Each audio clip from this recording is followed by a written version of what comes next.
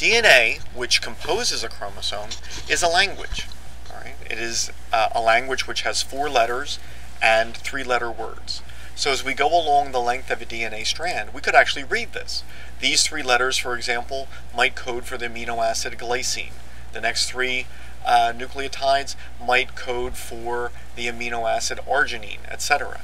So if a cell needs to know how to make collagen, in the collagen gene there is a DNA code which specifies which amino acid to put in which order. Each cluster of three nucleotides in this image means something. It's a code for a specific amino acid. The DNA stays in the nucleus of the cell, right? It's too big to travel, um, but it will be copied uh, into a form known as RNA. The RNA photocopy of a specific gene will then leave the nucleus and go out to the cytoplasm where a protein can be made.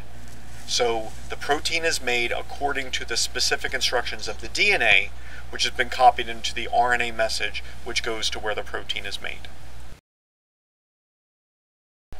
In this animation, after proteins bind to the DNA uh, to turn the genes on, uh, RNA molecules are copied. You see them leaving the DNA strand. So the DNA in yellow will stay in the nucleus, while RNA photocopies of individual segments leave the nucleus to go to where the protein will be manufactured.